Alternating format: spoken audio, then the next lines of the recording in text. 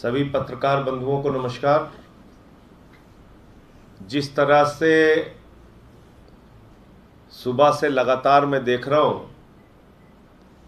पूरी की पूरी भारतीय जनता पार्टी सारा काम छोड़ के, आज उनके नेताओं के पास कोई काम नहीं है।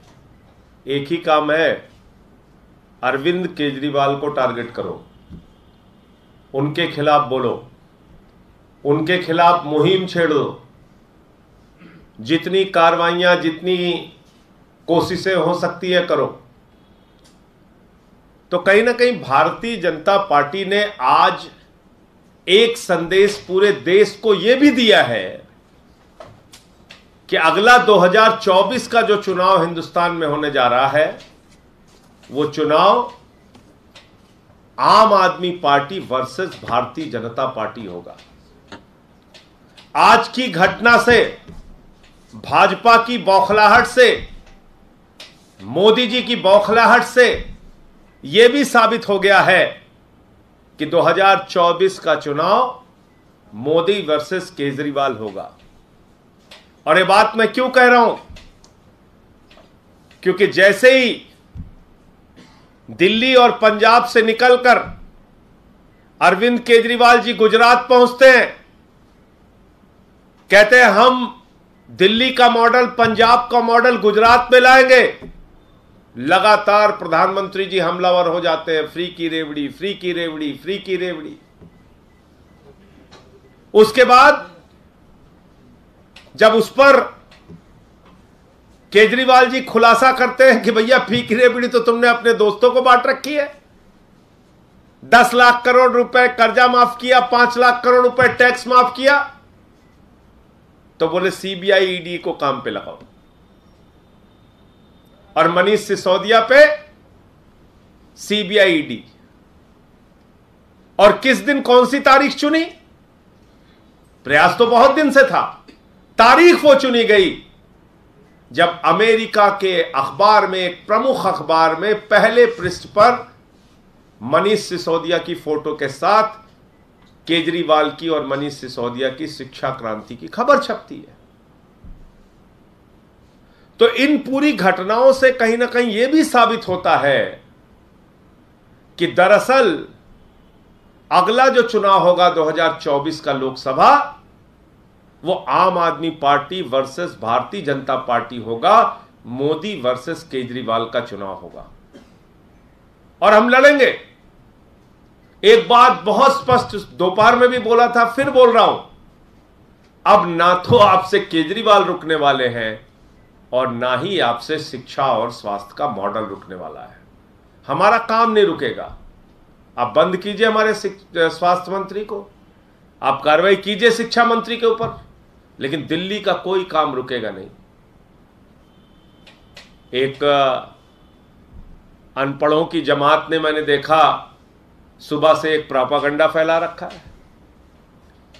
कह रहे, पेड न्यूज़ छप गया, पेड न्यूज़ छप गया। अरे भाई, उसी अखबार में न्यूयॉर्क टाइम्स में, जहाँ मोदी जी के इतने दोस्त रहते हैं, उसी अमेरिका में कोरोना के मिसमैनेजमेंट की खबर छपी कि कितनी बुरी हालत मोदी जी की सरकार ने कोरोना के समय में देश की की, जिससे लाखों लोगों की मौत हुई। आप भी पेट छपवा लेते अपनी तारीफें छपवा लेते हैं। आपके पास कहाँ पैसे की कमी है? केंद्र की सरकार है, कई राज्यों में सरकार है। और अनपढ़ों की जमात क्यों कह रहा हूँ? जिस खलीज टाइम्स का ये ज़िक्र कर रहे हैं, उसमें तो साफ़ तौर पे लिखा है कि न्यूयॉर्क टाइम्स के सौजन्य से यह खबर छापी गई है।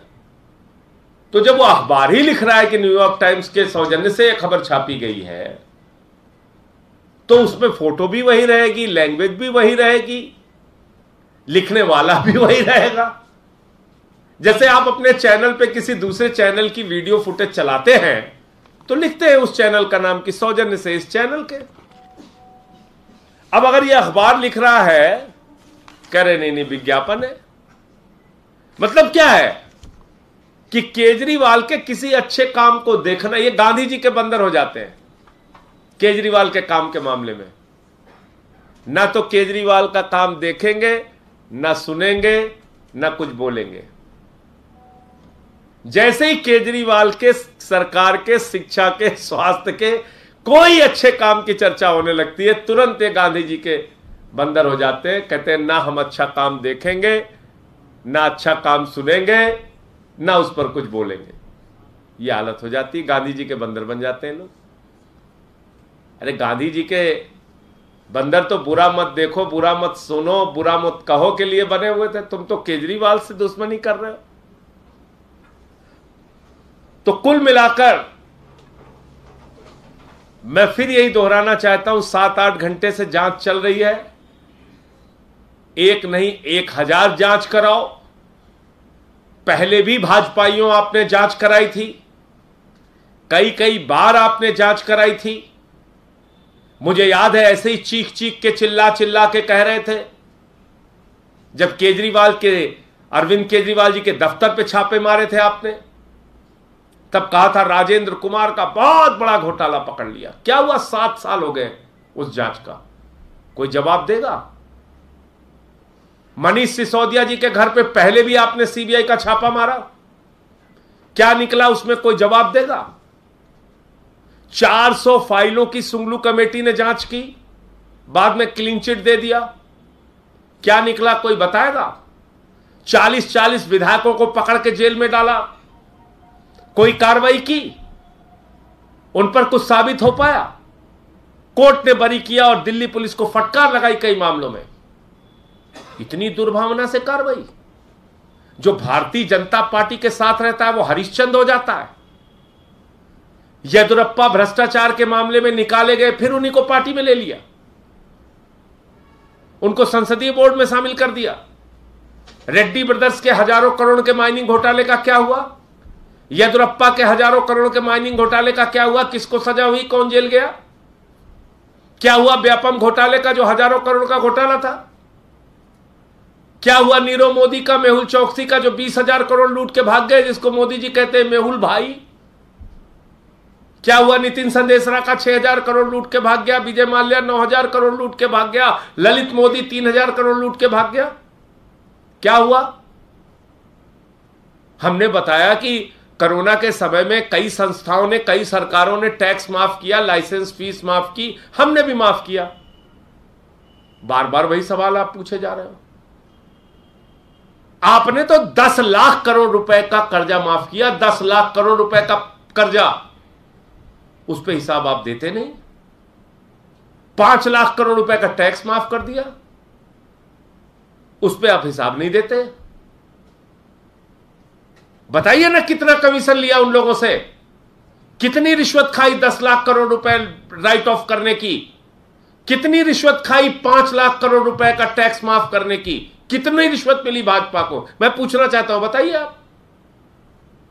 बयालीस हज़ार करोड़ रुपए जिस कंपनी ने घोटाला किया डीएचएफएल ने, उससे उनतीस करोड़ रुपए बीजेपी ने चंदा लिया। बताइए कितने बीजेपी नेताओं से ईडी सीबीआई ने पूछताछ की?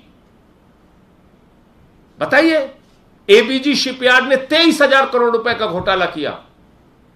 अडानी के पोर्ट पे गुजरात के अंदर बीस हज़ार करोड़ रुपए की ड्रग्स पकड़ी गई। कितने पे कार्रवाई हुई, बताइए आप? मुकुल राय आपकी पार्टी में आ जाए तो शारदा घोटाला खत्म, हम हेमंत विश्व शर्मा आ जाए आपकी पार्टी में तो घोटाला खत्म। अब बताइए, शराब का मुद्दा आप उठा रहे हैं। गुजरात में जहरीली शराब का, नकली शराब का दस हज़ार करोड़ रुपए का धंधा होता है हर साल। अब बताइए कितने पे कार्रवाई हुई? मैं पूछ रहा हूँ आपसे। अब बताइए, देश को जवाब दीजिए। कितने बीजेपी नेताओं को आपने जेल में भेजा? कितने लोगों पे आपने कार्रवाई की? तो इसलिए सिर्फ़ केजरीवाल को टारगेट करना है, आम आदमी पार्टी को टारगेट करना है, आप कीजिए, आप स्वतंत्र हैं। लेकिन पूरा देश इस बात को देख रहा है। दुनिया को नंबर वन बनाने का मिशन केजरीवाल जी ने शुरू कर दिया है। और वो मिशन अब रुकेगा नहीं इन कार्रवाइयों से। आपको जितनी कार्रवाई करनी है कीजिए। हम अपने उस मिशन का विस्तार कर रहे हैं और वो पूरे देश में फैल रहा है। केजरीवाल जी की बढ़ती लोकप्रियता को आप रोक नहीं पाएँगे। मोदी जी, आप जो भी चाहे कार्रवाई कर लीजिए। मुझे इतनी बात कहनी थी, आपका कोई प्रश्न जी, पूछिए सर आप लोग लगातार कह रहे हैं और वो बार बार यही कह रहे हैं कि आप लोग मुद्दे से भटका रहे हैं वो बार बार यही बात कह रहे हैं अब अभी लगातार पीसी हो प्रेस वार्ता हो रही है, और वो ये इसी बात पर अटे हुए हैं कि ये घोटाला हुआ है और आप लोग उससे बचाने के लिए शिक्षा और क्या घोटाला हुआ है आप बताइए ना। क्या घोटाला हुआ है? घोटाला हुआ है। कहाँ हुआ है? स्विस बैंक में तीन गुना काला धन बढ़ गया। घोटाला हुआ कहाँ गया? कोई जाँच, कोई कार्रवाई? मैं पूछ तो रहा हूँ, आपसे बयालीस हज़ार करोड़ जिस डीएचएफएल ने घोटाला किया, उसने उनतीस करोड़ बीजेपी को चंदा दिया है। कोई जवाब है इनके पास? खाली मुँह से बोलने से घोटाला हुआ है? अरे, ये तो वो पार्टी है, कमीशन की बात कर रहे थे, आज मैं सुन रहा था भाजपाइयों को, जिनका राष्ट्रीय अध्यक्ष रक्षा सौदे में कमीशन लेते हुए कैमरे पे पकड़ा गया। किसी और प्रमाण की ज़रूरत ही नहीं है। रक्षा सौदे में दलाली खाते हुए पकड़ा गया। जिनके केंद्रीय मंत्री कहते हैं, पैसा खुदा तो नहीं, खुदा से कम नहीं। वो लोग आज उपदेश दे रहे हैं, मैं देख रहा हूँ। मैं तो कह रहा हूँ कि सीबीआई की जाँच का स्वागत किया हम लोगों ने, आप कराइए जाँच। जैसे पिछले तमाम मामलों में कुछ नहीं निकला, ऐसे ही मनीष सिसोदिया और सत्येंद्र जैन जी के मामले में भी कुछ नहीं निकलेगा। ये तय बीजेपी कह रही है, संजय जी, कि इसके फ़िल्म के डायरेक्टर तो केजरीवाल जी है सीएम उनके पास विभाग नहीं है, वो इसलिए होशियार रहते हैं, लेकिन अपने मंत्री को फंसा रहे हैं। और इन कार्रवाइयों के प्रोड्यूसर और डायरेक्टर दोनों हमारे आदरणीय नरेंद्र मोदी जी हैं। वो प्रोड्यूसर डायरेक्टर उनको सामने आना चाहिए, पीठ पीछे से कार्रवाई ना करें, सामने आके लड़े, चुनाव में लड़े, ठीक है, जीत हार होती है।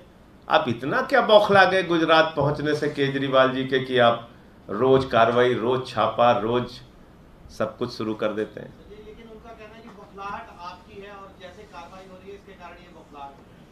हमारे ऊपर तो पहली बार नहीं इन्होंने बहुत बार कार्रवाई की है सैकड़ों बार की है।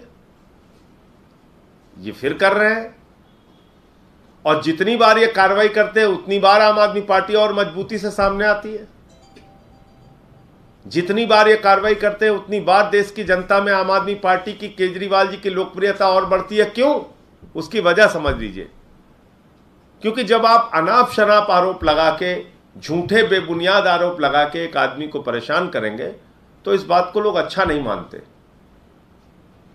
आप पर, आपके पास एजेंसियाँ हैं आप केजरीवाल को परेशान कर सकते हैं लेकिन सच को आप झुटला नहीं सकते। धन्यवाद।